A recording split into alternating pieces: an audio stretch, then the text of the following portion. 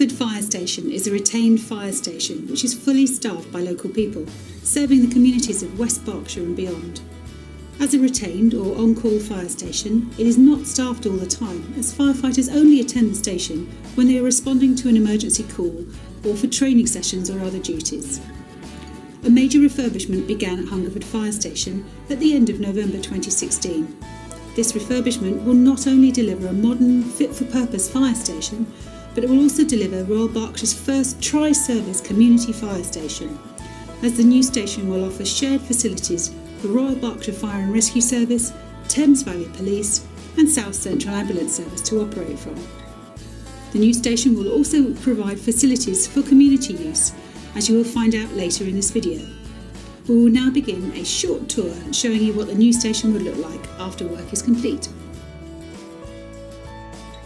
The front of the station has been designed in a way which makes the building identifiable to the public. A workspace will remain at the front of the station with direct access through to the appliance bay for our operational crews. A secure access system will be fitted throughout the station to protect our staff and valuable equipment whilst at the same time providing a safe environment for community use. Unisex shower and WC facilities will be available on both the ground and first floor. Behind the front office is a workspace for Thames Valley Police, which will be their new base in the town. In order to provide full accessibility, a small lift is being fitted for those who are not able to use the stairs, but it's not possible to see it in this video. On the first floor will be a kitchenette, gym and a training and meeting room, which is where we will head first.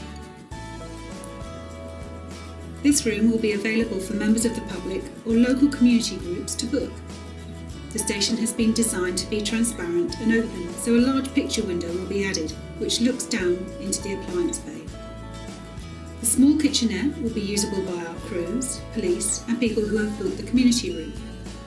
To support the fitness of our staff, a compact gym has been added on the first floor, again with a viewing panel into the appliance bay. As we go around the outside of the building, we can see the dedicated operational staff entrance at the rear. Unfortunately, due to a restriction on space, we are not able to provide visitor parking on site. However, parking is available in the Town Library car park directly next door. This refurbishment work has been planned by Royal Berkshire Fire and Rescue Service and funded by the Royal Berkshire Fire Authority to help us deliver the objectives set out in our Vision 2019.